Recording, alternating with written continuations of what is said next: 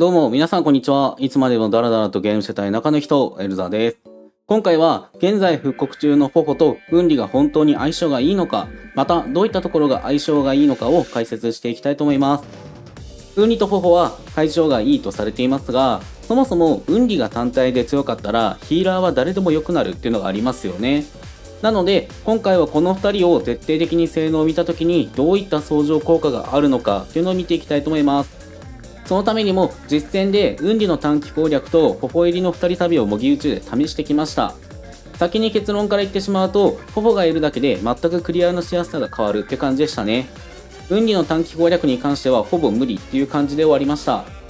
あ、その時のプレイ動画を流しつつどういったところが噛み合っていたのか紹介していきたいと思います。最後の方で次元解散のボス攻略などもしてますのでよかったら見てもらえると嬉しいです。それでは早速解説していきたいと思います。それでは、ポポとウニの相性がいいポイントを見ていきたいと思います。まずは1つ目。EP 回復量が多いというとこです。ポポの EP 回復に関しては、最大 EP 依存で回復ができるっていうのがあります。ウンディに関してですが、ポポの EP 回復では、添付レベル8で44.8回復することが可能となっています。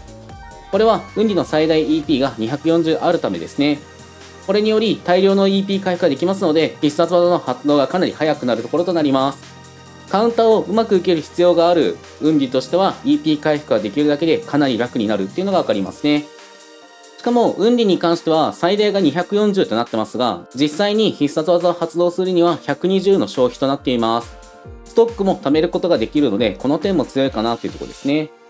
また、運理のゲージストック性とも相性がいいというのがあります。保護の必殺技の回転率って意外といいってところがあるんですけど、なるべく無駄がないように回復したいっていうのがありますよね。ですが、運理に関しては、最大が240で消費が120となっているため、アルジェンティンのようにストックを貯めることができます。このストックがあるため、徒歩の必殺技のタイミングを考えなくてもいいのが非常に嬉しいポイントとなるわけですね。とにかく必殺技の回転率が重要になる運理にとっては、とても相性がいい性能となっています。続いてのポイントは回復の機会が多いというとこです。今回に関してはちょっとマイナスの面を先に紹介したいと思います。マイナス面というのはターン依存の回復っていう部分ですね。これに関してなんですけど、頬の回復についてはターン始めの回復が魅力的っていうのがよくあります。ですが、運理は速度が遅いキャラとなっていますので、恩恵を受ける回数っていうのは、4人で編成を組んでる時はちょっと少なめっていうのがあります。ただ、これに関して言うと、全く効果がないわけではなく、自分のターンが来た時に確実に回復とデバフ解除を受ける機会っていうのは得られますので、攻撃の機械損失がなくなるってことはないですね。そういった意味では相性が非常に良くなってます。また、これだけ聞くと、なかなか回復の機会っていうのがないのかなと思いますが、HP50% 以下で回復するっていうのと相性が良くなってます。ここの回復効果になんですが、必殺技を使用した時に HP50% を下回っていた場合、回復ができるという効果があるんですよね。これは誰でも発動可能となってます。なので、誰の必殺技もいいんで、運理がちょっと危ないな、50%切ってるなっていう時に必殺技を発動してしまえば回復ができるってことができますので、意外と機会が多いキャラとなっています。しかも、運理は自分でダメージを受けてカウンターを入れていくので、EP も溜まりやすいんですよね。これにより、頬で必殺技の回転率を上げつつ、運理に必殺技を積極的に発動してもらって、HP 管理をしてもらうってことが可能になります。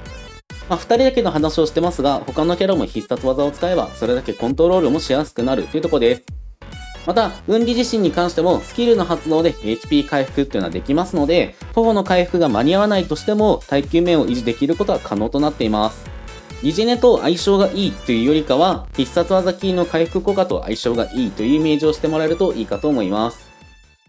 続いてのポイント3つ目は火力の底上げになるというところです。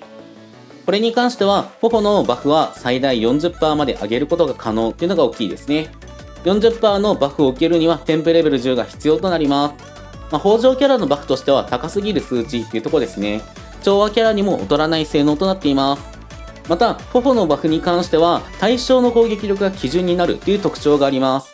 これは、ノビンやテイウンのバフに関して見てもらうといいんですが、自身の攻撃力を参照にして、プラスアルファっていうのがあります。これはアタッカーの攻撃力に依存しないので、バフが安定して伸ばせるっていう特徴がありますね。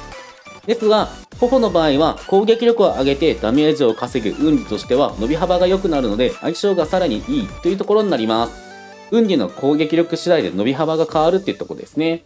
特に必殺技のダメージ参照とかに関しては攻撃力を元にしています。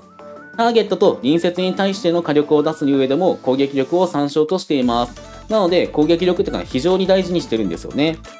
アタッカーの攻撃力に依存するバフ性能ではあるっていうのがありますが、このバフがあるだけで簡単に運理の火力を伸ばせるのが嬉しいところとなります。運理の攻撃力を盛れば盛るほど、個々のバフの恩恵が受けやすいっていうとこですね。相性がいいポイント4つ目は、デバフ抵抗力っていうとこですね。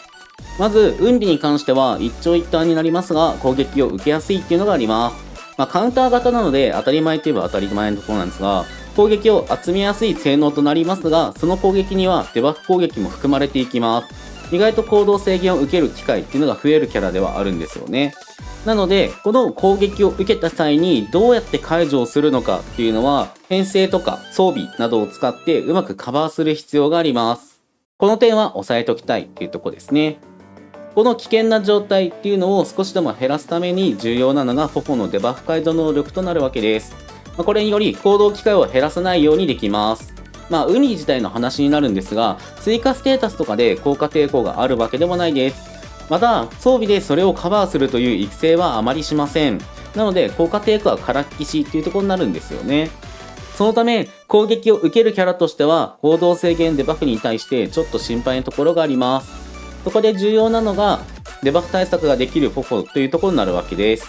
で、フォフォのデバフ解除に関してなんですが、スキルでターゲットのみのデバフ解除をすることは可能っていうのもあるんですけど、厄払いによりターン始めのデバフ解除が運理の行動を妨げるってことがなく、ターンの始めに回復ができるようになります。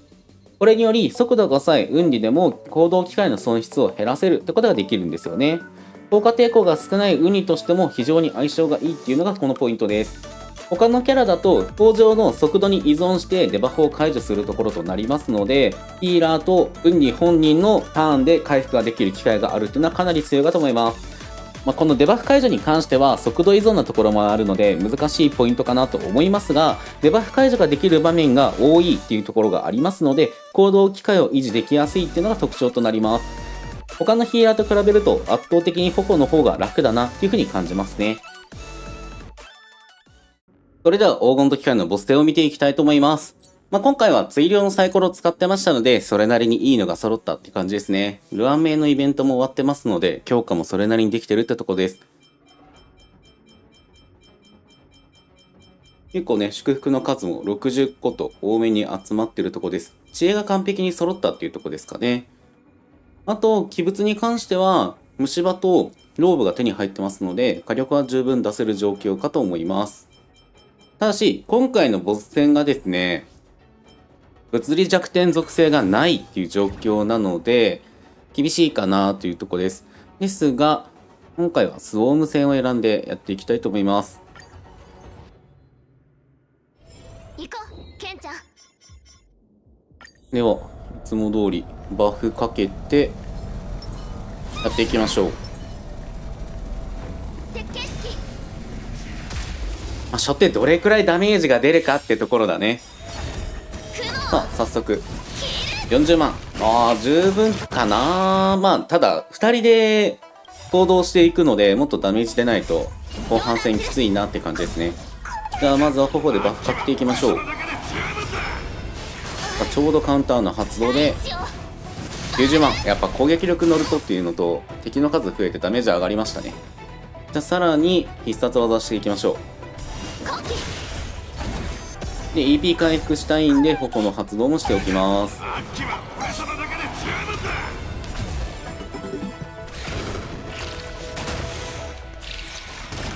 あここで運儀のターン。ちょっとステータス見てみましょうか。攻撃力としては7000ぐらいになってますね。まあぼちぼちというとこです。で会心ダメがだいたい400から500ぐらいとなってまして4ダメの方もそれなりに高くというとこです。まあこれでどれくらい出るかってとこですね。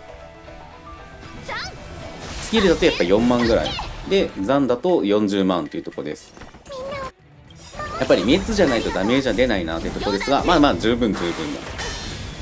だあここでちょうどカウンターが決まって140万と。やっぱあれだね、滅単体だとめちゃくちゃ強いですね。さあ、さらに、もう一発、熱をかまして130万と。やっぱ強いね。単純に頬の攻撃力バフが乗ったりもしてるので、ダメージが出やすくなってますね。カウンターでも7万後半というとこです。まあ、ただ、こでね、あの、SP 管理とかもしつつ、回復もすぐできるような状況になってます。で、敵の火力高いんで、HP 下がるんですけど、頬の厄払いの効果によって必殺技発動で HP が回復するようになってます。この辺りやはり相性がいいですね。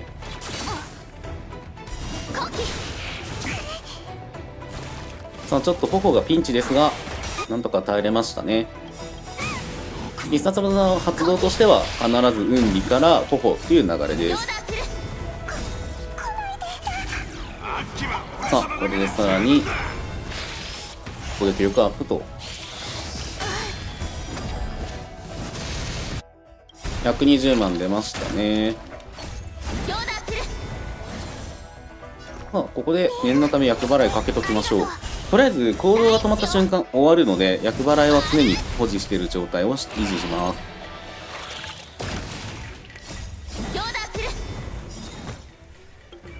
さあ攻撃力は9000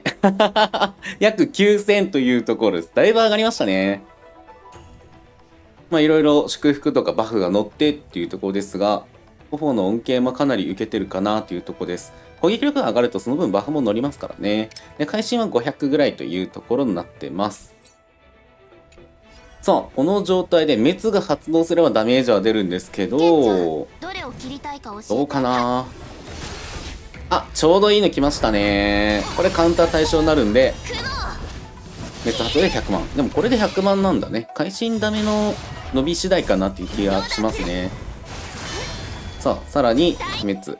これがね、これが強いで、カウンターがうまく当たる、かかると、ガンガン刺さるんで。さあ、さらにカウンター。140万連発してます。これはさすがに必殺技できないね。まあ、ただ、ヘイトがめちゃくちゃ集まってるんで、HP がかなりきつい状態となってます。必殺技の発動で回復と。祝福の効果でさらに伸びてますんで、かなりいいですね。さあ一体撃破。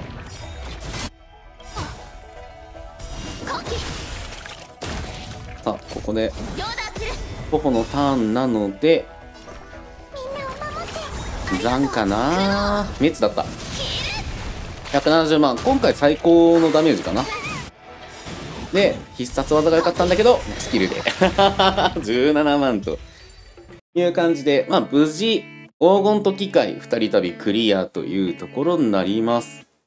まあ正直、フォフォがいるかいないかでクリアできるできないみたいな感じだったので、まあ、かなり良かったなと思います。回復の頻度とか、そのあたりのバランスも良かったですね。